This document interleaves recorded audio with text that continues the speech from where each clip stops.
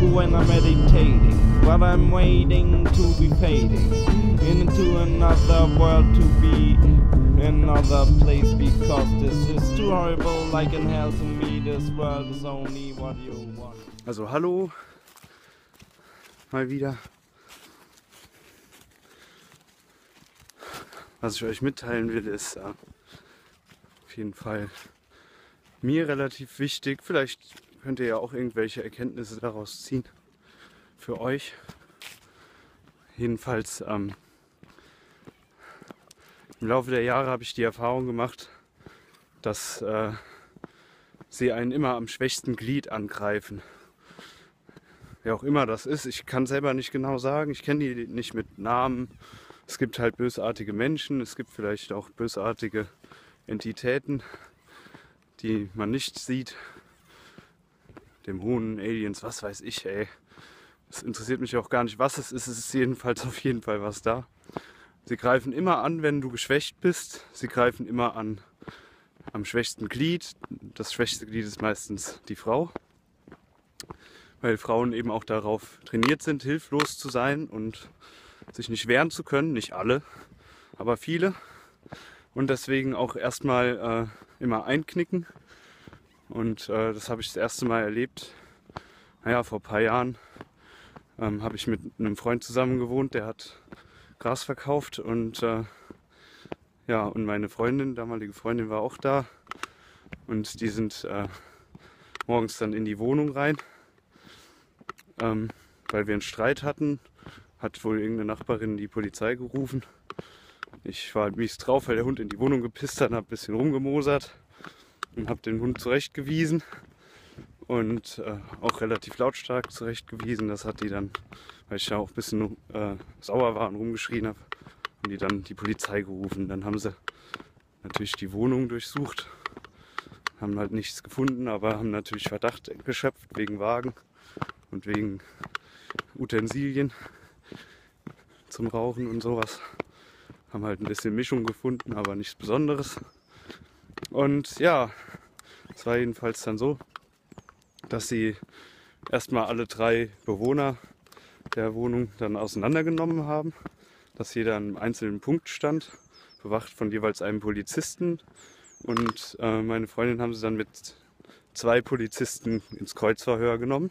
Also die Schwächste, die behindert ist und äh, ja, die am schwächsten wirkt, haben sie halt als allererstes ins Kreuzverhör genommen. Und äh, ja, haben dann erstmal versucht, die auszuquetschen, unter Druck zu setzen und so. Also das sind richtige, ja, ich weiß nicht, so machen das, glaube ich, in den Filmen auch immer die Oberbösewichte und sowas. Ich weiß gar nicht, äh, es kommt mir irgendwie bekannt vor, ne? So dieses Muster, was die da abgezogen haben. Die haben sämtliche Energie aus der Wohnung gezogen, haben Geld mitgenommen, was ich gespart habe, weil sie gesagt haben, ja, eindeutige Stückelung. Ich habe halt immer Anfang des Monats mein Konto leer gemacht, damals als Protest, weil ich den Banken das Geld nicht lassen wollte. Ähm, ja, und das ist halt dann das Geld gewesen, was ich angespart habe für den Monat und für vielleicht einen neuen Bass irgendwann mal zu kaufen. Weil mein alter Bass oder eigentlich mein Bass, den ich momentan habe, das ist eigentlich nur eine Art Dauerleihgabe die, den ich mal als Mietzahlung für einen Obdachlosen bekommen habe, der bei mir gewohnt hat. Und der wollte den halt irgendwann wieder. Dann habe ich mir gedacht, ich kaufe mir einen neuen, gebe dem den dann zurück. Aber das hat natürlich auch nichts gebracht. Ja, so geht das dann halt immer. Ne? Dann, ähm, irgendwie standen auch standen direkt drei Polizeioberkommander bei mir und haben dann da Stress gemacht mich dann auch unter Druck gesetzt und ich habe mich dann vor die gestellt und habe denen meine Meinung gesagt und habe gemeint, hier, ihr könnt mir nichts, ich habe nichts Falsches gemacht und äh, in Knast wollt ihr mich sowieso nicht haben, das sage ich euch direkt, ey. Weil wenn ihr mich in Knast steckt, dann werde ich wahrscheinlich entweder noch bessere Verbindungen haben zur kriminellen Welt und euch dann fertig machen oder vielleicht werde ich auch einfach nur und das wird wahrscheinlich eher der Fall sein, anfangen die Leute da umzupolen oder so und äh, das Elend aus dem Knast entfernen, Und das wollen die ja auch nicht. Die wollen ja, dass die Leute da leiden. Also, die wollen mich nicht im Knast haben. Das sage ich euch direkt. Auf jeden Fall. Was für eine geile alte Brücke. Kann natürlich keiner mehr drüber, aber sie ist verfallen und sieht irgendwie cool aus. Mag ich. Sowas. Ja, war wohl billiger, eine neue zu bauen.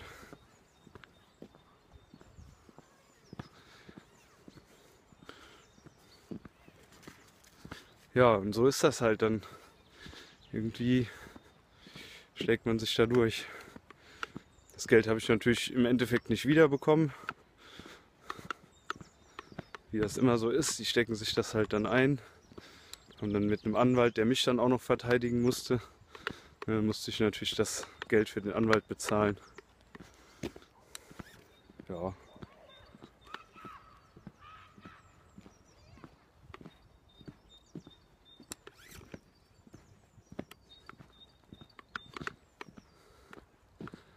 Ja.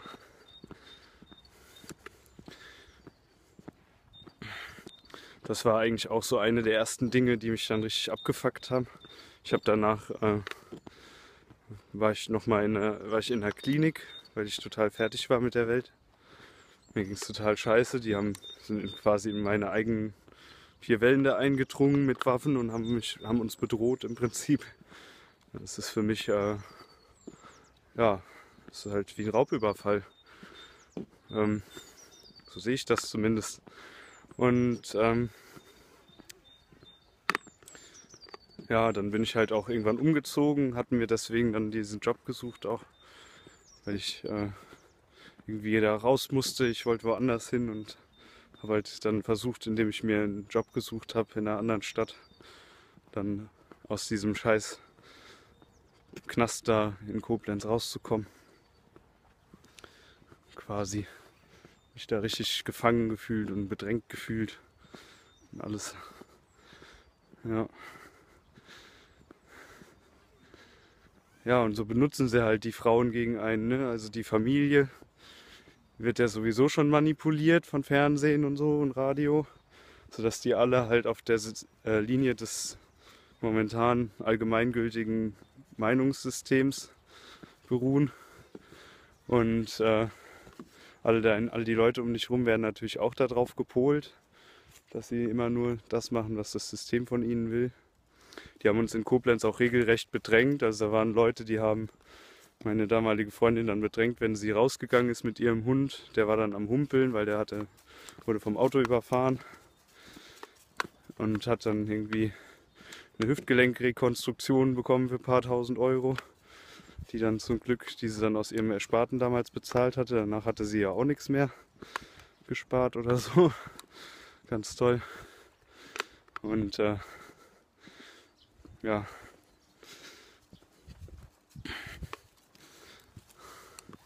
Dann hatten wir halt irgendwelche Leute, die haben dann gesagt, ja, der muss doch mal zum Tierarzt und haben sie nicht ernst genommen, nur weil sie behindert ist. Und das ging auch schon die ganze Zeit so. Auch ihre Familie hat sie teilweise nicht richtig ernst genommen, weil sie behindert ist. Und so Sachen halt. So nach dem Motto, ja, die kann man ja nicht ernst nehmen, die ist ja behindert. Sowas ist halt auch immer toll. Das macht man auch bei Kindern immer. Ja, Kinder kann man nicht ernst nehmen, die sind ja Kinder. Ne, so alles, was nicht erwachsen ist, hat keine Daseinsberechtigung und darf nicht ernst genommen werden schon ätzend irgendwie. Ja. Kommen wir mal zum letzten Teil.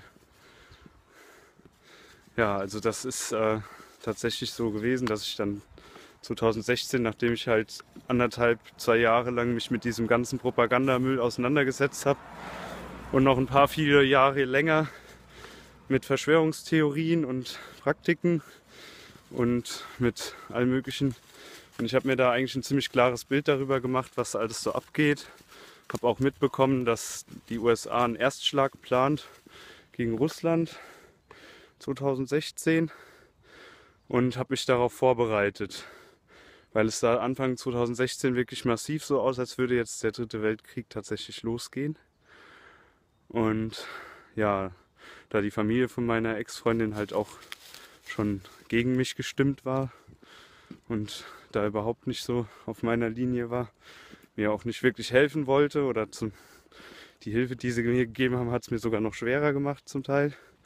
Ich sollte dann einen Laptop reparieren, äh, beziehungsweise fertig machen für die Mutter von ihr und das hat auch nicht geklappt, weil die Mutter zu geizig war, um das richtige Modell zu kaufen, sich nicht beraten lassen hat und hinterher dann noch behauptet hat, ich wäre schuld daran, dass der Laptop zu langsam wäre, den ich für sie besorgt habe. Ja, ist dann irgendwie so im Vorhinein geizig sein, hinterher behaupten, du bist schuld. Ich glaube, das kennen fast alle Leute, die schon mal irgendwie Sachen verkauft haben ähm, an irgendjemanden, vor allen Dingen Gebrauchte und so. Gerade bei Computersachen und so ist das oft so, dass die Leute halt einfach nicht hören wollen, dann sich was Billiges kaufen und sich hinterher beschweren. Ja, und dann ist das, äh, genauso war das halt auch, als der Hund von ihr überfahren wurde damals. Da habe ich noch zu ihr gemeint, pass gut auf den Hund auf, mach den auf keinen Fall von der Leine ab. Halt den an der Leine, bis, äh, unser, bis unser Abholservice da ist. Ne? Und was macht sie? Sie macht den Hund von der Leine und er rennt über die Straße und wird überfahren. Ein paar Jahre später waren wir nochmal zu Besuch bei den Leuten, bei den gleichen Leuten. Und äh, sie fragt mich, soll ich lieber die Treppe von oben runter gehen oder lieber die Treppe von unten nehmen? Weil es gab zwei Möglichkeiten. Man konnte oben rumgehen oder unten rum. Und ich habe zu ihr gesagt, geh lieber unten, von unten hoch, da bist du sicherer.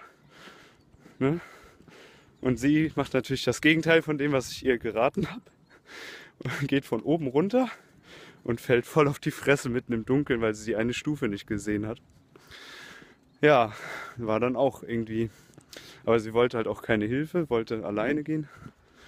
Und ich habe keine Schadenfreude. Ich finde das nur, das tut mir irgendwie in der Seele weh, dass ich dann sogar teilweise noch nach Rat gefragt werde und die Leute machen dann das Gegenteil. So. Ja. ist schade.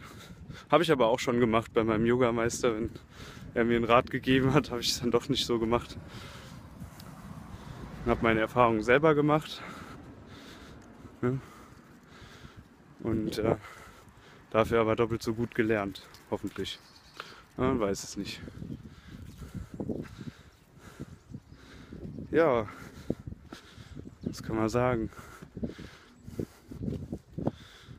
Ist auf jeden Fall so, dass ich damals dann versucht habe, äh, irgendwie mich not zu versorgen, falls jetzt wirklich der Krieg ausbrechen sollte. Habe ich gedacht, okay, Notstromaggregat, Vorräte, ein paar Solarzellen.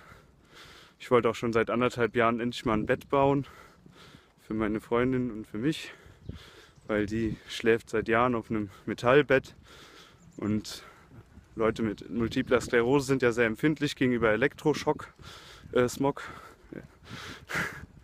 Und deswegen ist Metallbetten sind da ganz ungünstig und da habe ich dann für sie ein Holzbett gebaut und habe halt dieses Geld für uns beide angewandt. Und das Geld, das habe ich bekommen. Ja, damals hatte ich halt einen Handyvertrag, der auf ihren Namen lief, weil ich hatte ja Schufa und so und wollte den Vertrag eigentlich auf meinen Namen dann überschreiben, aber das ging nicht.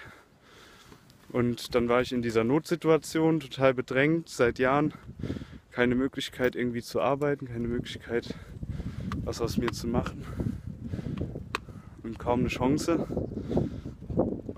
Und ja, dann habe ich irgendwie aus lauter Verzweiflung irgendwie ging das übers Internet, konnte ich die mit ein paar Klicks machen, so ein paar Handyverträge und habe dafür Handys bekommen.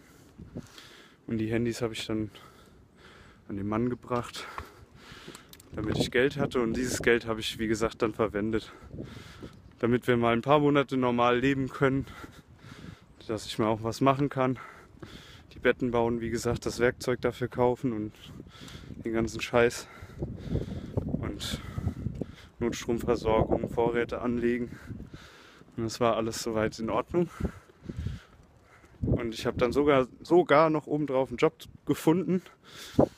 Den musste ich aber wieder abgeben, weil der Chef hat mich nach einem Monat gefragt, glauben Sie, dass die, dass die äh, Anschläge am 9.11., äh, am 11.9., also am 11. September, äh, glauben Sie, dass diese Anschläge von Terroristen gemacht wurden oder von, ob das ein Inside-Job war. Und dann habe ich gemeint, es war ein Inside-Job. Bin ich mir ziemlich sicher. Und habe dem auch ein paar Gründe genannt. Und direkt zwei Tage später stand schon in der Zeitung die Anzeige, dass er jemand Neuen sucht. Ja, danach sind wir noch in Urlaub gefahren. Und nach dem Urlaub habe ich es nicht mehr übers Herz gebracht, ihr das zu verschweigen, was ich gemacht habe, weil ich ein schlechtes Gewissen hatte und habe es ihr gesagt. Und daraufhin hat sie mich halt dann angezeigt. Ich hatte noch versucht, sie zu beschwichtigen, habe angefangen, die zu zahlen. Die ein bisschen zu spät angefangen, die zu zahlen. Aber ich habe angefangen, die zu zahlen in Raten, hatte die Raten auch schon vereinbart. Aber dadurch, dass ich jetzt halt noch 4000 Euro Strafe zahlen muss, kann ich die Raten natürlich schon nicht bezahlen.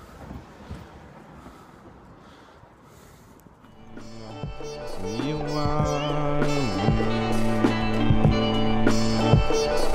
are